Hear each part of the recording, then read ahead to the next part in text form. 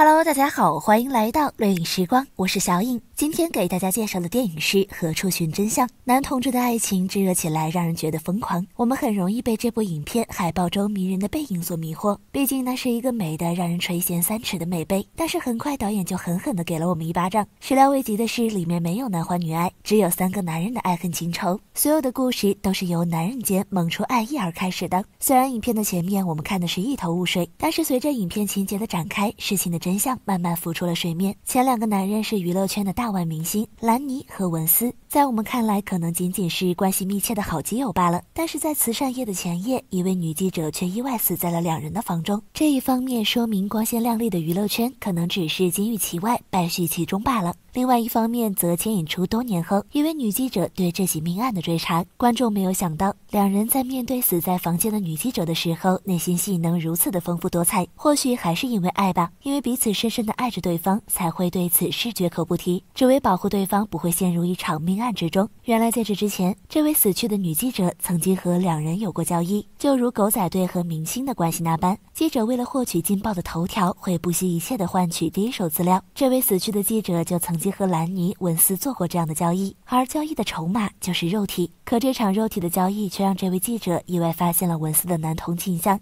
这个消息可能更劲爆、更有看点。于是记者威胁了兰尼，第二天却发现记者死了。兰尼认为是文斯杀害了他，而文斯则认为是兰尼杀害了他。两人虽然心中揣着这样的疑惑，但还是最终秘而不谈。直到为了保护兰尼的文斯在自传中承认自己是凶手，然后自杀。后来调查这个事件的女记者发现了端倪，才解开了事实真相。凶手是除了兰尼、文斯以外的第三个男人，也是这场爱恨情仇中最不起眼的那个角色——鲁本。鲁本深爱着兰尼，但是兰尼和文斯却相爱着。他正是利用两人想要保护对方的。心思杀死了那位女记者，成功的拆散了两人。以为掌握了对方秘密的人，却最终选择了老死不相往来。这的确是一部烧脑电影。在讲述整个故事的过程中，还不经意的揭示了两种职业：明星们表面上做着人人称赞的慈善事业，私底下却嗑药滥交；记者们表面上追求事情的真相，但是却为了获取爆炸性新闻而不惜出卖自己的肉体。除了有男童的激情四射，比较意外的是，在影片的最后还插播了一小段蕾丝的桥段。导演擅长运用这些悬疑的元素，让整个影片环环相扣，并且情色桥段设置也十分恰到好处。如果你仅仅把这部影片当做是一一部情色影片来观看的话，那么你真的埋没了一部很好的悬疑片。